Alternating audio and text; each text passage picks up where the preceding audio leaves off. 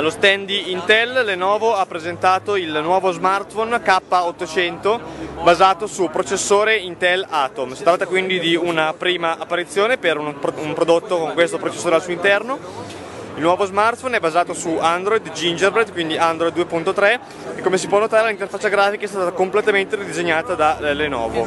Troviamo infatti una nuova on-screen on e eh, le applicazioni sono raggiungibili da un pulsante posto nella parte in alto a sinistra. Come vediamo l'interfaccia è piuttosto fluida, a testimonianza del fatto che il sistema operativo di Google è stato ben ottimizzato per i nuovi processori di Intel.